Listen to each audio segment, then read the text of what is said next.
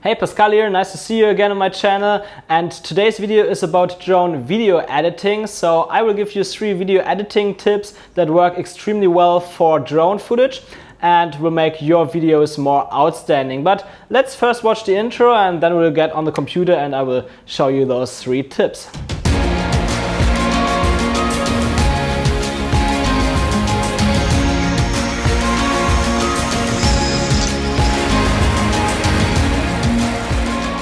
So we know drones are amazing and with the Mavic Air and the Mavic Pro series it became more accessible for everyone but of course, to make it outstanding and really look good, you also need to know how to edit your drone footage. And today I will show you my three or three of my best tips in Final Cut. You can also do it with Adobe Premiere or other video editing apps, but it might be that some apps don't have the full functionality that you need, so it really depends. Um, one app that you can also use if you cut on your iPad is LumaFusion, that's a great app. But yeah, like mentioned before, we will use Final Cut now. And the three tips are actually two tips about real video editing and one tip for color correction so that you get a bit more detail in the distance. But this will be the last tip. The first will be to use speed ramping in your drone videos because in drone videos you usually fly very for or you can fly for a very long time in one direction or you can make the same camera movement for a longer time and so on. And speed ramping works extremely well with that. So that's one effect that you definitely want to use in your drone footage, in your drone video editing. So I will show you how that works now in Final Cut. So here I have a clip of the Gili Islands on Gili Trawangan of a resort where I stayed and I'm flying my drone backwards to give a nice overview of the complete island and the next Gili Islands, Gili Meno here and this is Trawangan. The islands are really not big, it's so beautiful, there are no motorbikes, no cars or everything. So that's great. And yeah, now I want to insert my speed ramp and usually I would cut the speed ramp to the music. So when the music makes this bam, bam, bam, then on a bump I want to have this speed ramp where it makes like poo. And yeah, to do that, like I don't have a music clip here now, I just show you how the speed ramp itself works. So the first thing that you do is you press Command R, because then you can already see the speed indicator here. That's a nice thing to have. And then let's say this would be the position where this bump from the music is. Then I press three frames backwards. One, two, three. You can see from one to three, from seven and nine frames, seven seconds and nine frames we go to 7 seconds and 6 frames. And then I press Shift B and then I go to the position where I want the speed ramping to end, so where it should slow down, slow down again. So I'm here now. I would say here it's good because it's directly after this movement where camera still goes up and reveals a bit more of the island. This is a nice, nice point to end the speed ramp. So press Shift B again. And you see like when I press Shift B, it makes this two cuts here in the speed. And now what I can do, I can simply double click that part here and I can change the speed of the clip or of the part of this clip. And so right now, I would say for that it's more of experience. I would say 2000% could work good. Let's see how it goes. Uh, goes up and phew, there's a speed ramp, but it's way too slow. Uh, let's say 5000%. That's better. It's not perfect. I will set it to 7000 and I will make it a little bit shorter because I also want to stabilize this clip and that makes it a bit faster to show it here. So you can see now it goes up pretty fast. That's nice. It's a nice speed ramp. But it is a bit shaky because I'm changing the camera movement. First, I only fly the drone high and back or up and back. And then I point the camera up or start pointing the camera up. And that means that it's not very, very solid here anymore, very smooth.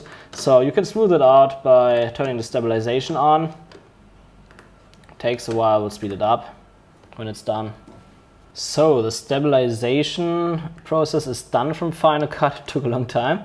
So it already looks a bit better, but it's still not perfect. So at first what I usually turn down is the scaling. I don't want that. And then I turn them up, those sliders. And now it should look a lot better. Yeah, it's much better. You can even do it a bit more, like putting in 10, for example. Let's see how that works. And that's great, right? So we have this nice revealing shot flying backwards, filming that mother with her child here in the resort, and then bam, it jumps up and shows this nice island here. I love that.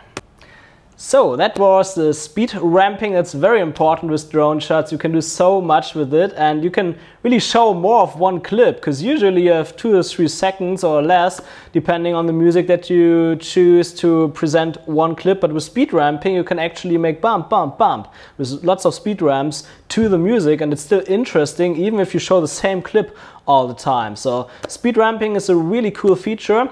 And the next thing that I will show you is the dolly zoom. Dolly zooms, you probably know it from the Mavic 2 Zoom. It's basically the drone flies forward, for example, while zooming out and it gives a nice effect. But you can create, um, not exactly looking like that effect because the lens compression is missing, but you can create a very similar one in Final Cut or in most other video editing apps. So I will show you how that works. Okay, here's the dolly zoom. So I choose this clip here, which has a steady movement already. And this effect works best with clips that go in one direction, either to the front or the back. It's not that good when you move your drone to the side or something. So um, this drone flies forward, so I want to zoom out. So what that means is that I use a scale. Let's say I zoom in by 150% you should use 4K footage for that. With 1080, it's not that good. Oh yeah, and I forgot to set a keyframe. Make a keyframe at the beginning. And then you go to the last frame and you make 100.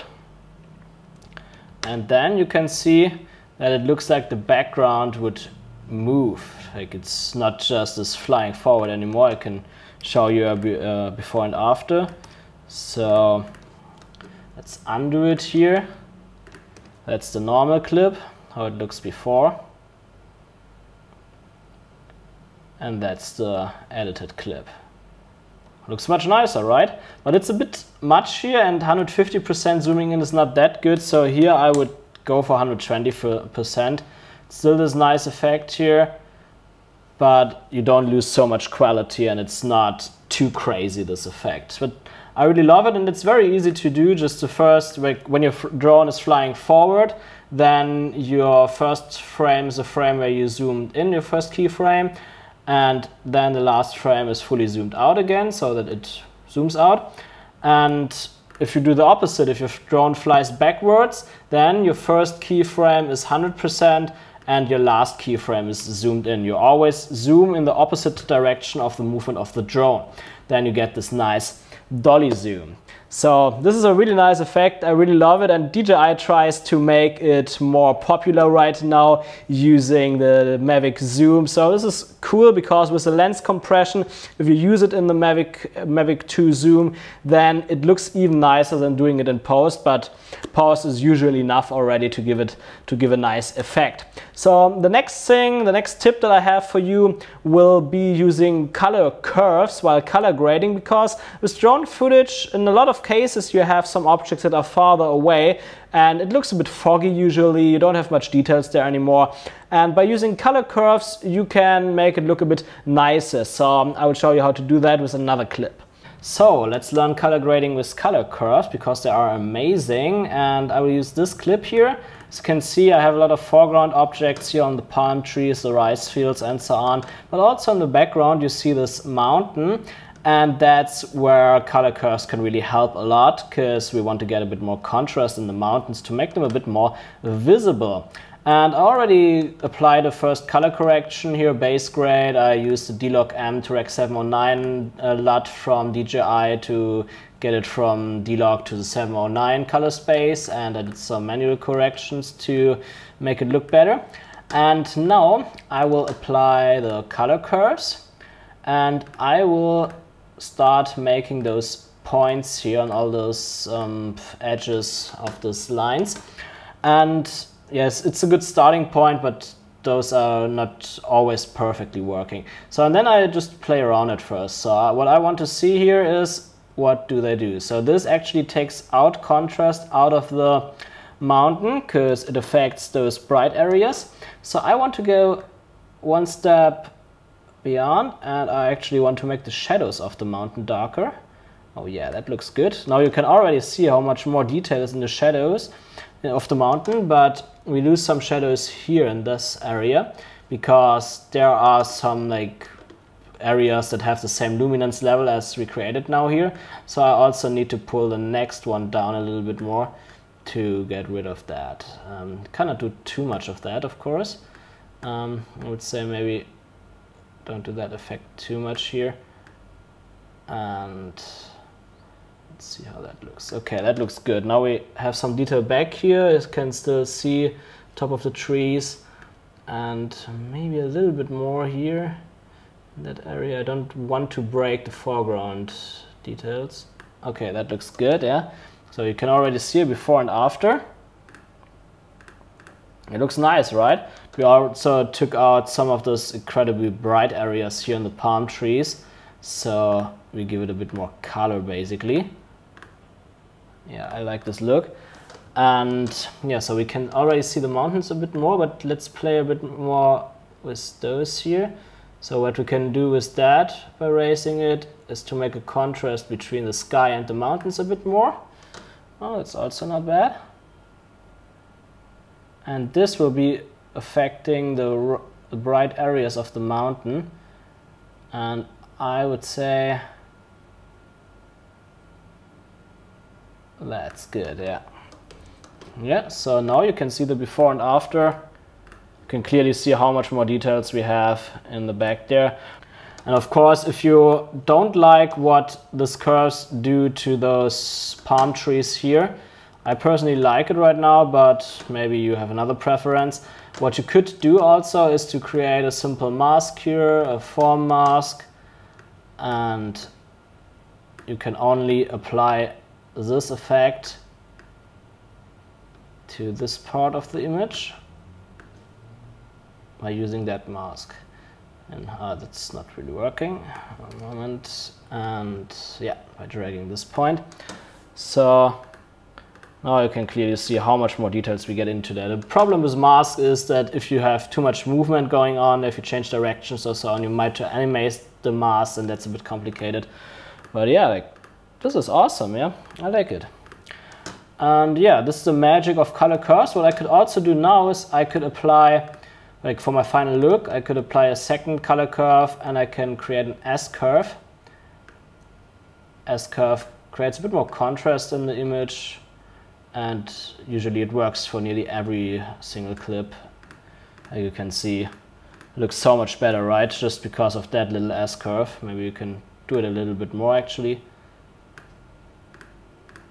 Yeah, that's great.